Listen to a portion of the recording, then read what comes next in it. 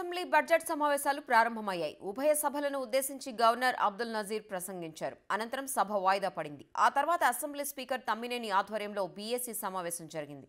ఈ సమావేశంలో తొమ్మిది రోజుల పాటు అసెంబ్లీ బడ్జెట్ సమావేశాలు నిర్వహించాలని నిర్ణయించారు.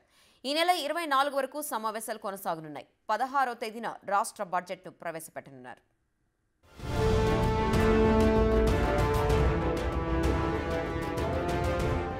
ఏపీ అసెంబ్లీ బడ్జెట్ సమావేశాలు తొలి రోజు గవర్నర్ అబ్దుల్ నజీర్ ప్రసంగంతో ప్రారంభమయ్యాయి. ఈ నాలుగేళ్ళలో అమలు చేస్తున్న సంక్షేమ పథకాలు ప్రస్తావించారు. అనంతరం ఉభయ సభలు వాయిదా పడగా తర్వాత స్పీకర్ తమ్మినేని సీతారాం అధ్యక్షతన జరిగింది. ఈ నెల ఇరవై నాలుగు వరకు అసెంబ్లీ సమావేశాలు నిర్వహించాలని బీఎస్సీలో నిర్ణయం తీసుకున్నారు. అంటే తొమ్మిది రోజుల పాటు ఏపీ అసెంబ్లీ బడ్జెట్ సమావేశాలు జరగనున్నాయి. ఈ నెల పదహారున బడ్జెట్ ప్రవేశపెట్టాలని బీఎస్సీలో నిర్ణయించారు. అలాగే ఈ నెల పంతొమ్మిదిన ఇరవై రెండు తేదీల్లో అసెంబ్లీకి సెలవు ఉంటుంది.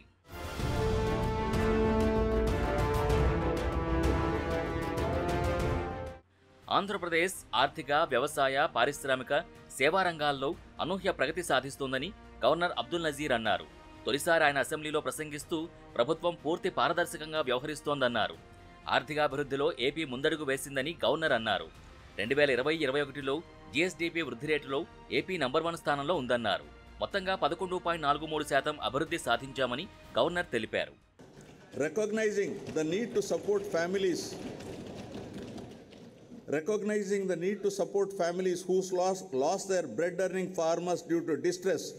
Ex gratia to family of suicide has been enhanced to 7 lakhs. Under ysr jalakala 2 lakh free borewells are planned to be drilled in a span of four years within a financial outlay of 2,340 crores, benefiting more than eighteen lakh farmers విద్యా ప్రమాణాలు పెంచేందుకు AP ప్రభుత్వం కృషి చేస్తోందని governor తెలిపారు. నాడు నేడుతో స్కూళ్ళ ఆధునీకరణ మధ్యాహ్న భోజన పథకం అమల్లోకి తెచ్చామన్నారు. నాడు నేడులో మూడు వేల ఆరు వందల అరవై తొమ్మిది కోట్లతో ఫేజ్ వన్లో పదిహేను వేల ఏడు వందల పదిహేడు స్కూళ్ళ ఆధునీకరణ చేశామని ఫేజ్ టూలో ఎనిమిది వేల మూడు వందల నలభై ఐదు కోట్లతో ఇరవై రెండు వేల మూడు వందల నలభై ఐదు స్కూళ్ళ ఆధునీకరణ జరిగిందన్నారు. తొమ్మిది వేల తొమ్మిది వందల కోట్లతో నలభై నాలుగు లక్షల మంది తల్లులకు అమ్మఒడి అందజేసినట్టు చెప్పారు. ఏటా పదిహేను వేలు ఒక్కో లబ్ధిదారుడు అమ్మఒడి ద్వారా లబ్ధి పొందారని గవర్నర్ తన ప్రసంగంలో పేర్కొన్నారు. My government has devised several crop diversification plans from paddy and other cereals to millets with a specific calendar of events marking the UNO's declaration of 2023 as the International Year of Millets.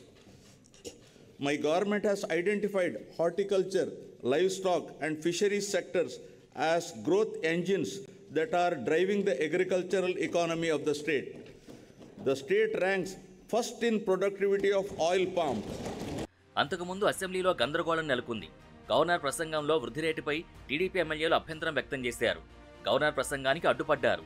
దీంతో కొద్దిసేపు గందరగోళం కనిపించింది. గవర్నర్తో కల్పిత లెక్కల్ని ప్రభుత్వం చెప్పిస్తోందని TDP ఆగ్రహం వ్యక్తం చేసింది. ప్రాజెక్టుల అంశానికి వ్యతిరేకంగా టీడీపీ సభ్యులు నినాదాలు చేశారు. పోలవరం వెలుగొండ ప్రాజెక్టులో పురోగతి యాభై నాలుగు ఇరిగేషన్ ప్రాజెక్టుల్లో పద్నాలుగు పూర్తి చేశామని గవర్నర్ చెప్పడంపై సభలో టీడీపీ నేతలు నిరసన తెలిపారు. అసత్యాలు భరించలేకపోతున్నామని టీడీపీ సభ్యులు నినాదాలు చేశారు. గవర్నర్ చేత అసత్యాలు చెప్పిస్తున్నారంటూ టీడీపీ సభ్యులు సభ నుంచి వాకౌట్ చేశారు.